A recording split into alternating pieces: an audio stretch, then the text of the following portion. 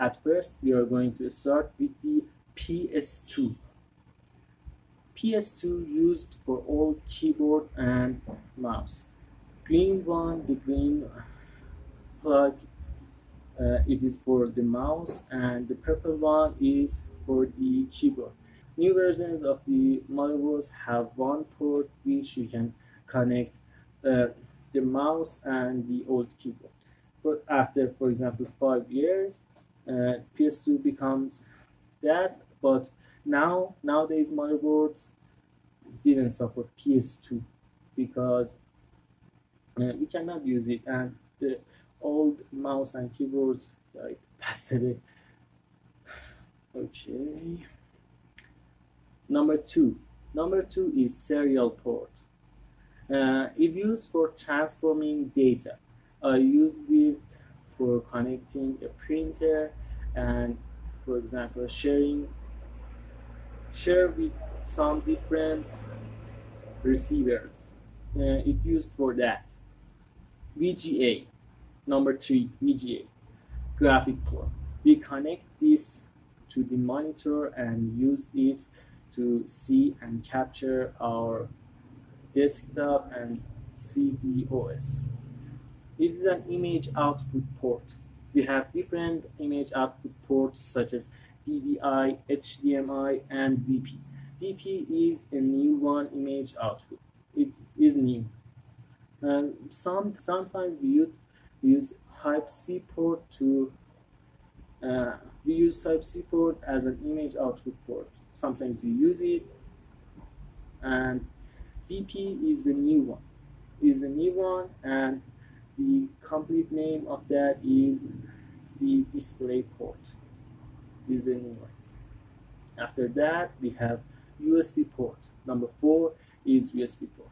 We have different generations of the USB ports. We have generation 1 port, generation 2 port. By default, the general color is the general color for the PS2 type 2 port or I can say PS2 Gen 2 port is black.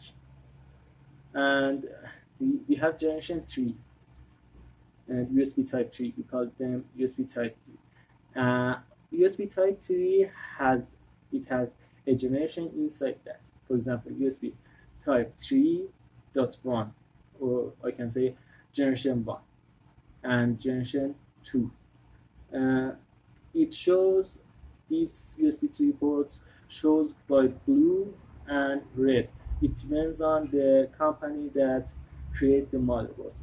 We can see these ports uh, with blue color and the red color. After that, we have LAN port. LAN port is using for put your network cable on the computer so you can download and upload and connect to your network. It's used for that. After that, we have audio card output. Some motherboards have three output cards, uh, and other of some other of the computers have six output audio cards. Uh, we call them Dolby. Dolby, for example, when you use Dolby, you can hear sound in different ways. And it used, for example, gamer use this and studios use this type of cards. I will create a video for that. Don't forget to like this video.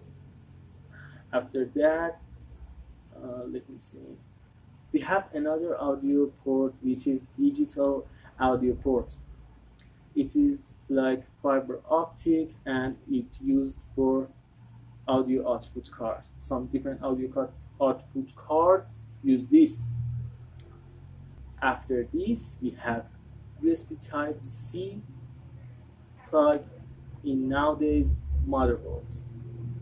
And it, it is like USB and we use it for transferring data charge this device for example charge your phone and use this for all justice.